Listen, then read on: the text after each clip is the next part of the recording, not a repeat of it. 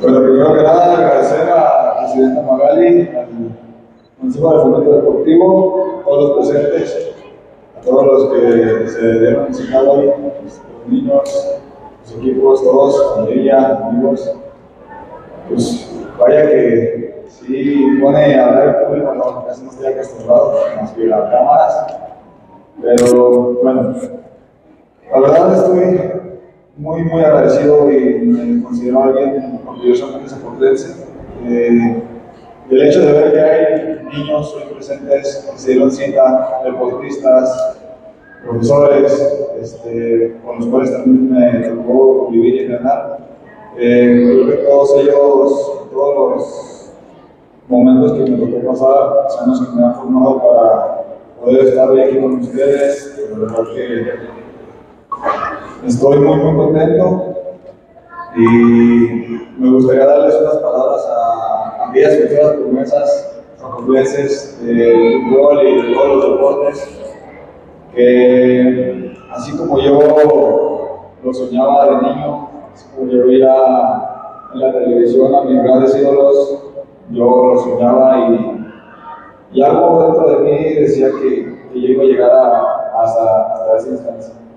Eh, yo veía a Osvaldo y algo dentro de mí les digo, decía, yo voy a estar donde la tele, no sé cuándo, no sé cómo, no sé con qué equipo, este, pero voy a estar en el lugar y gracias a Dios se ha dado.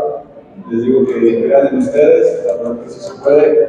Eh, soy un claro ejemplo, todos los que son un ejemplo de que se puede, lo que sea, por más limitaciones que, que puedan presentarse, siempre tienes que encontrar la manera de, de poder, más si es el sueño que tienes desde niño, claro que, que se puede.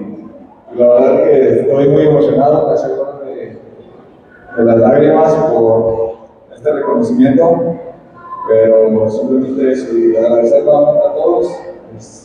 Mando un fuerte abrazo a la distancia y ahorita pues esperemos poder platicar con varios que, que ya me conocen, amigos. Muy, muy grato este, agradecerle a todo, toda la presidencia, a la presidenta Magali por este reconocimiento, la verdad que es muy muy bonito. Tal parece que ya te están pidiendo pláticas motivacionales en las escuelas. ¿Qué vas Sí. a, ¿Los vas a aceptar? ¿Vas a venir? ¿Qué vas a hacer?